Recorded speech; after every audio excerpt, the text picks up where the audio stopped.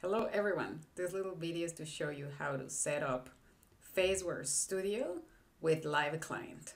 So I have Faceware Studio here opened up.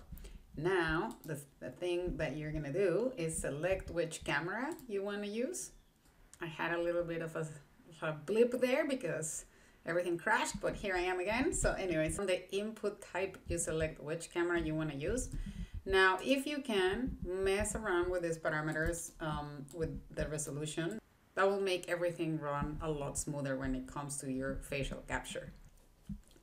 After you play around with the resolution, and hopefully you'll be able to get 60 frames per second, we're gonna calibrate our neutral pose. So look straight into the camera. I'm trying to cover my background. There we go. And we'll come back to this in a second. Now let's come to our streaming panel tab and then let's click stream to client. That's very important because if not, we're not going to be able to stream to live client from Unreal Engine. Now we're going to need to change our IP address once we go into Unreal into the editor. So you might want to come over here and find your command prompt. And then you type IP config so this one right here, this is your IP address and that's what we're gonna change in Unreal Engine. So I already have um, Unreal Engine open up with this project um, given to us by John McInnes from McInnes Studios. Thank you very much. So you're gonna click on your asset, whatever it is, and you're gonna be seeing here the Faceware Studio IP address. This is where you type in your IP address from the command prompt. So I'm gonna select my Cine Camera Actor and from there I'm gonna go into play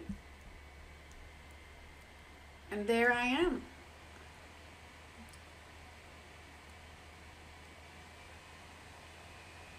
All right, so now that you've made sure that everything is working correctly, I'm gonna just get out of play for a second. I'm also gonna stop piloting my Cine Camera Actor.